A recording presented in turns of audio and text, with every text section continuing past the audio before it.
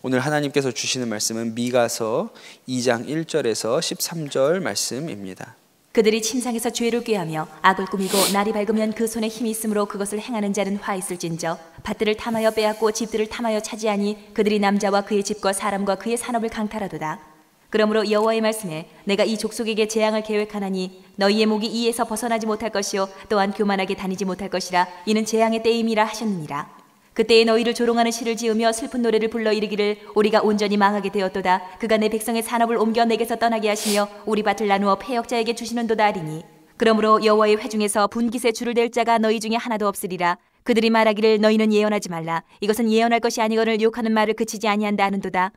너희 야곱의 족소가 어찌 이르기를 여호와의 영이 성급하시다 하겠느냐 그의 행위가 이러하시다 하겠느냐 나의 말이 정직하게 행하는 자에게 유익하지 아니하냐 근래에 내 백성이 원수같이 일어나서 전쟁을 피하여 평안히 지나가는 자들의 의복에서 겉옷을 벗기며 내 백성의 부녀들을 그들의 즐거운 집에서 쫓아내고 그들의 어린 자녀에게서 나의 영광을 영원히 빼앗는도다. 이것은 너희가 쉴 곳이 아니니 일어나 떠날지어다. 이는 그것이 이미 더러워졌음이니라. 그런즉 반드시 멸하리니 그 멸망이 크리라. 사람이 만일 허망하게 행하며 거짓말로 이르기를 내가 포도주와 독주에 대하여 내게 예언하리라 할 것 같으면 그 사람이 이 백성의 선지자가 되리로다. 야고바 내가 반드시 너희 무리를 다 모으며 내가 반드시 이스라엘의 남은 자를 모으고 그들을 한 처소에 두기를 보스라의 양떼같이 하며 초장의 양떼같이 하리니 사람들이 크게 떠들 것이며 길을 여는 자가 그들 앞에 올라가고 그들은 길을 열어 성문에 이르러서는 그리로 나갈 것이며 그들의 왕이 앞서가며 여호와께서는 선두로 가시리라 오늘 말씀에서 미가는 이스라엘의 부자들, 고위층들에 대한 심판을 선포합니다. 그들이 탐욕스럽게 가난한 자들의 재물을 빼앗고 억압했다는 것입니다. 아, 하나님은 이렇게 가난한 자들을 억압하고 어, 가난한 자들의 재물을 빼앗아 자기의 부를 축적하는 자들에게 망할 것이다. 아, 세번역 성경책의 표현을 빌리자면 알거지가 되게 하겠다. 그렇게 경고를 하세요. 아, 성경을 읽으면서 놀라운 일 중에 하나는 우리가 전해 보았던 아모스서도 그렇고 대부분의 선지자들이 가난한 자들에 대한 관심과 또 가난한 자들의 처우에 대해서 옹호하는 어, 마음을 가지고 있다는 거예요. 지금은 그것이 당연하게 받아들여질지 모르지만 사실 지금으로부터 2500년, 3000년 전의 시대에 그것도 왕이 다스리던 그런 시절에 부자들이 가난한 자를 억압하는 것은 아주 일상적이고 당연한 일처럼 받아들여졌던 일들입니다. 여러분 그 시절에 예, 야교 강식의 그 시절에 누가 가난한 사람들의 권리까지 신경을 쓰겠습니까? 참 놀라운 것은 성경은 그 옛날에도 어, 하나님의 공의는 달랐다는 것이죠. 하나님이 주신 율법에는 이스라엘 사람들에게 주어진 땅이 다른 가족에게 넘어가지 않도록 여러 가지 장치를 두셨습니다. 기업을 모르는 제도도 있었고 자녀가 없이 죽을 경우에는 계대 결혼을 하도록 했고 그렇게 해서 땅을 잃지 않도록 그러니까 아이 극빈자로 떨어지지 않을 수 있는 예, 그런 장치들을 여러 개 가지고 있었죠. 빚이 있더라도 갚을 수 없는 빚을 지더라도 희년을 주셔서 그것이 회복될 수 있는 기회를 주셨습니다. 그건 참 놀라운 것이죠. 어, 그 옛날에도 하나님의 공의는 가난한 자들을 향한 관심이 있었다는 것입니다. 그런데 문제는 하나님은 아, 그렇게 이 가난한 자들에 대하여 마음을 가지고 그들을 지키기 위해서 하나님의 공의가 있었음에도 불구하고 사람들이 하는 일은 그 반대였던 것입니다. 그 질서와 공의를 깨뜨리는 일이었어요. 어, 자기가 많이 가졌음에도 불구하고 가난한 자들의 것마저도 빼앗아 자기 것으로 만들려는 악독함이 그 시대나 지금이나 있는 것이죠. 미가는 아, 그 시대의 그 부조리함을 아, 하나님께서 심판하시는 이유라고 그렇게 설명을 합니다. 그런데 문제는 어, 이렇게 부자들의 탐욕에 대해서 미가가 지적을 하고 심판을 선포하지만 그것이 듣는 자들의 귀에는 잘 들리지 않는다는 것입니다. 이 심판의 예언을 받은 부자들이 뭐라고 대답을 합니까? 6절과 7절에 보면 어, 그들이 말하기를 너희는 예언하지 말라. 이것은 예언할 것이 아니거늘 욕하는 말을 그치지 아니한다 하는도다. 너희 야곱의 족속아 어찌하여 여호와의 영이 성급하시다 하겠느냐? 그의 행위가 이러하시기다 하겠느냐? 나의 말이 정직하게 행하는 자에게 유익하지 아니하냐?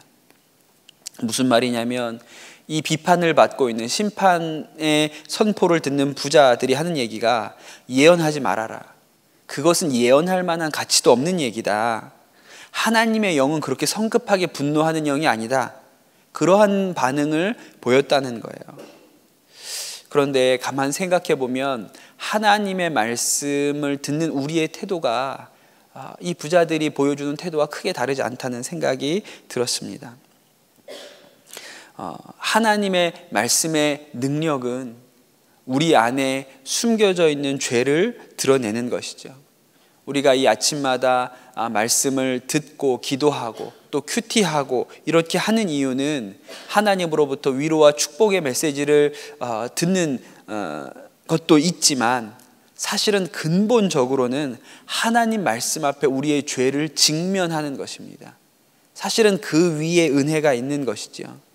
지금처럼 문서화된 성경이 없었던 이 시절에는 선지자들이 그 역할을 했습니다. 선지자들이 말씀을 통해서 우리의 죄를 드러내려고 한 것이죠. 그런데 여러분, 아, 선지자들이 할 때나 우리가 하나님 말씀 앞에 설 때 우리가 보이는 일반적인 태도는 회피하는 것입니다. 아, 인류 역사상 최고의 부자였다고 알려진 존 록펠러라는 미국의 사업가가 있습니다. 석유 사업이 발달하던 그 초창기에 거의 전 세계의 석유 시장을 장악했던 사람이지요. 아, 교회에서는 11조의 비밀을 안 부자 이렇게 알려져 있습니다. 어려서부터 아주 독실한 기독교 가정에서 성장했고 스스로 한 번도 11조를 걸은 적이 없다 그렇게 이야기하는 어, 사람이에요. 그런데 그가 기업을 경영했던 방식은 대단히 무자비했습니다. 경쟁 업체들을 공격해서 부도가 나서 다 없어지도록 만들었고 자신의 회사의 노동자들에게도 아주 가혹하게 대했습니다. 노동자들 50명이 죽어나가는 일들도 있었어요. 그러나 록펠러는 이 일을 크게 문제라고 여기지 않았습니다. 여러분, 하나님 말씀이 없었을까요?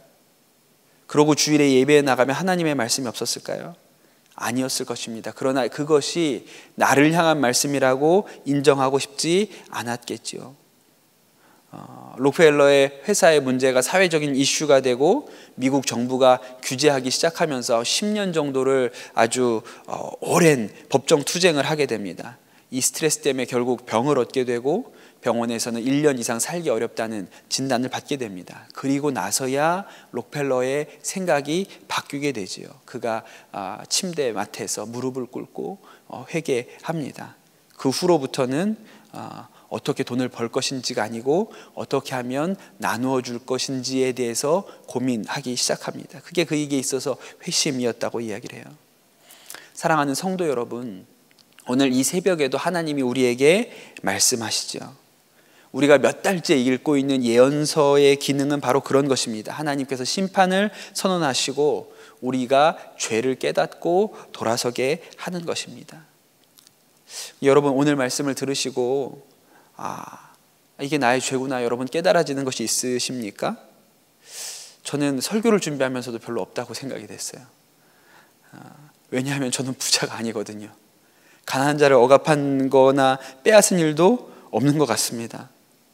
그런데 말씀을 묵상하던 중에 하나님이 저 안에 번뜩 생각하신 게 있는데 제가 제 힘을 가지고 연약한 자를 연약한 이를 억압하는 일이 있다는 생각을 하나 주셨습니다. 그것은 제가 자녀들을 대하는 태도에 대한 말씀이셨어요. 저희 집에 4살과 7살짜리 아들이 둘 있습니다. 예, 물론 아이들이 저를 만만하게 대할 때도 많이 있습니다. 그런데 물리적으로는 제가 강자고 아이들이 약자죠. 그런데 때때로 제가 아이들을 훈육할 때, 뭔가 잘못을 지적할 때, 제가 제 분을 절제하지 못해서 아이들에게 에, 옳지 못한 방식으로 훈육하고 화를 내는 일에 대해서 하나님께서 지적하신다는 생각이 들었어요. 그 사실은 별로 인정하고 싶지 않았습니다. 그래도 나 정도면 괜찮은 아버지라고 얘기하고 싶었어요. 아, 그런데 하나님께서 한 가지 생각을 떠올르게 하셨는데 최근에 어, 저희 청소년부의 한 학생의 이야기를 듣게 되었는데 집에서 어, 부모님에게 가혹한 매질을 당했다는 거예요. 너무 상처를 아이가 크게 아, 입은 이야기를 들으면서 제가 저희 전도사님들하고 아, 어떻게 교회 다니는 아버지가 그렇게 하냐. 다 큰 애를 그렇게 이야기를 했는데 하나님이 저한테 물어오시는 것은 너는 다르냐? 너는 다르냐? 약간의 정도의 차이가 있는 것이 아니냐? 이렇게 물어보시는 것 같은 거예요. 아, 주님, 아, 그것이 저의 죄입니다. 제가 돌아설 일입니다. 제가 회개할 일입니다. 라고 받아들여야 하는 것이죠. 여러분, 하나님의 말씀의 기능은 아, 우리의 죄를 드러내는 것입니다. 우리의 반응은 회피하고 싶은 것이죠. 그러나 선지자들의 말을 들어야 합니다. 왜냐하면 그것이 멸망으로부터 피하는 길이기 때문에 그렇습니다. 어, 다른 교회에서 사역하시는 친한 목사님한테 에, 들은 얘기예요. 목사님이 사역하시는 교회에 에, 그 교회 학교 교사 중에 에, 게임 업체에서 상당히 높은 어, 직위를 가지신 선생님이 계셨다 그럽니다. 근데 어느 날 그 만나서 이야기하던 중에 그분이 자기가 다니던 회사를 그만두셨다는 얘기를 하셨다는 거예요.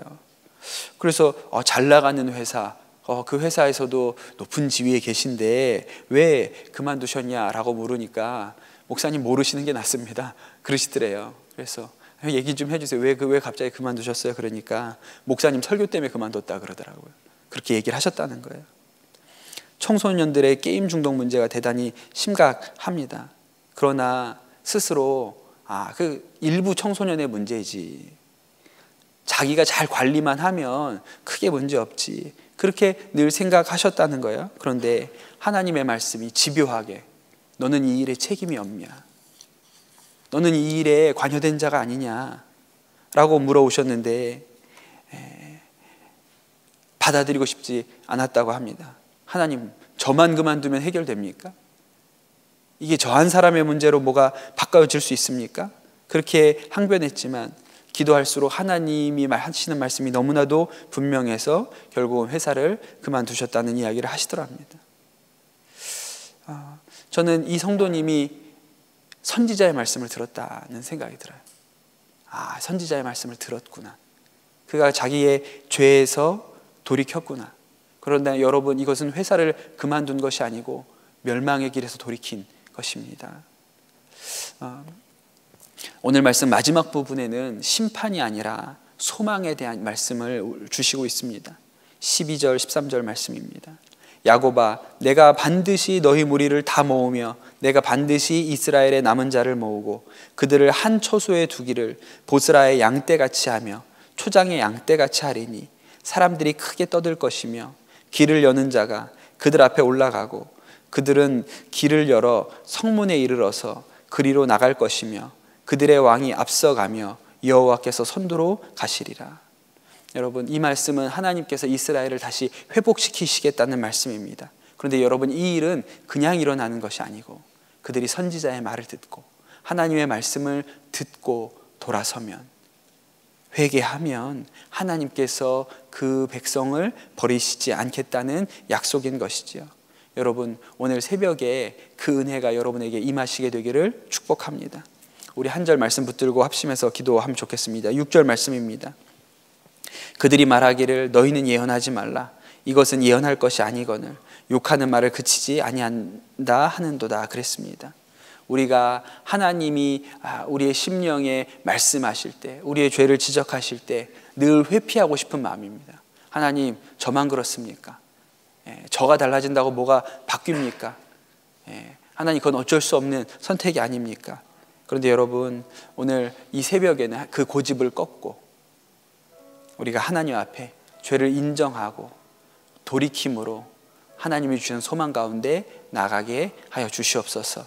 이 시간 기도하실 때 하나님 우리의 마음속에 숨겨진 것들 죄들이 깨달아지고 돌이키는 은혜가 우리 가운데 임하게 하여 주시옵소서. 이 시간 주여 한번 부르시고 합심해서 기도하겠습니다. 주여 사랑의 하나님 아버지 감사합니다. 이 새벽에 우리를 부르시고 도우시고 인도하시고